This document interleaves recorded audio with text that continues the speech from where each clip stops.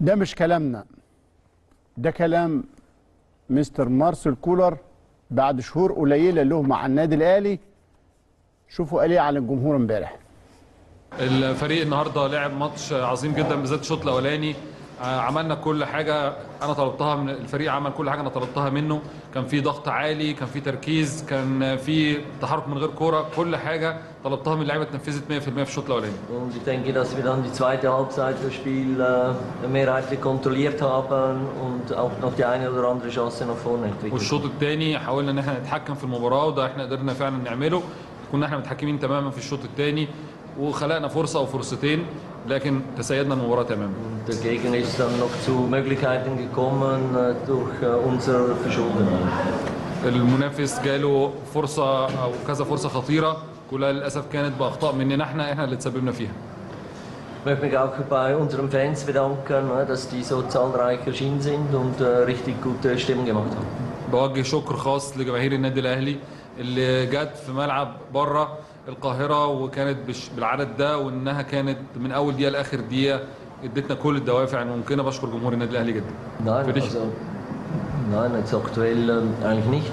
Es war so, dass wir natürlich zuerst mal die Spieler kennenlernen mussten. Dann war Percy war noch verletzt.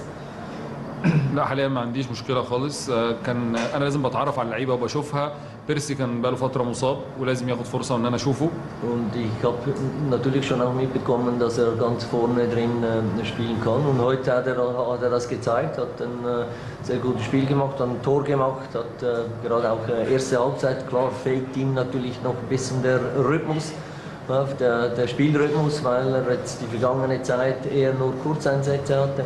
وأنا جات لي المعلومة ان هو بيقدر يلعب في المركز ده وفعلا أنا جربته فيه النهارده وهو كان على قد الحدث ولعب كويس جدا جاب جون حركته كانت كويسة جدا كخفيف كان بيضغط كان بيتحرك قدام كويس جدا فعمل كل اللي أنا عايزه ولكن طبعا هو راجع من إصابة طويلة فما قدرش يدي طول ال 90 دقيقة. الشوط الأولاني بالذات طبعا كان عمل كل حاجة فبدأ يتعب لأنه لسه ما دخلش في رتم الفرقة رتم المباريات. ده بيحتاج وقت بعد إصابة زي اللي كانت عنده. Und er hat äh, vor allem in der ersten Halbzeit hat er sehr gut auch äh, attackiert und äh, الشوط Ball gearbeitet. الشوط الاولاني كان الضغط بتاعه الحركه بتاعته كانت ممتازه جدا وكان بيروح على الكوره عجبني جدا بيرسي النهارده Ich habe das nicht so gesehen. Ich äh, mein, wir haben nicht auf Konter gespielt, sondern wir haben äh, ja eigentlich in ihrer Platzhälfte gespielt. Ja. Wir haben أنا مش شايف مع أنا مش haben حضرتك في الشوط الاولاني attackiert und haben sie إحنا zu الشوط الاولاني كنا gezwungen, بنضغط كنا profitiert كل haben. اللعب كان ما كناش بنلعب على المرتدات خالص ولا تنظيم دفاعي إحنا كل لعبنا كان قدام. كل الضغط كان في منطقة ه- ه- ملعب المحلة. تقريبا الشوط الأولاني كله إحنا في النص الأولاني في نص المحلة. نضغط هناك بنضيع فرص بن- بنهجم في نص الملعب القداماني vorne attackiert. في الشوط الثاني حاولت إن أنا أنا اللي قلت للعيبة إنها تبدأ إنها ترتد شوية.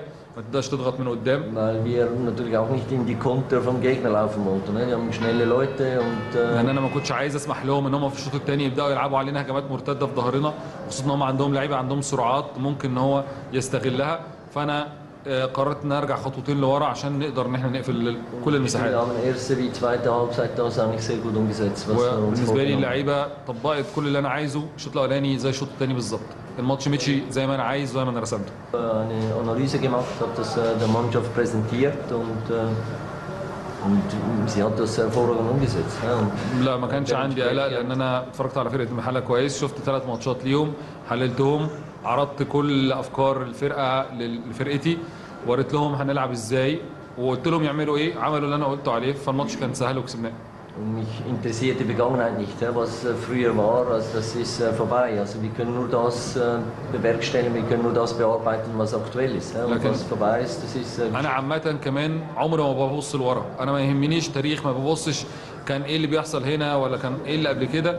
أنا بفكر دايما النهارده. النهارده إيه الوضع؟ أنا فرقتي فين؟ الفرقه اللي قدامي فين؟ بلعب على الواقع بلعب على النهارده. وإن شاء الله دايما هنحقق الفوز بالطريقة دي.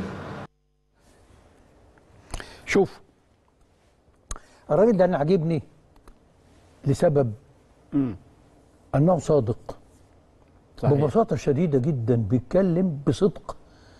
كل المدربين يجي يقول لك إيه والله أنا ما قلت لهمش يرتدوا اللعيبة دي من نفسهم ودي عادة اللعيب المصري يكتفي ويرجع ويرد ويدافع.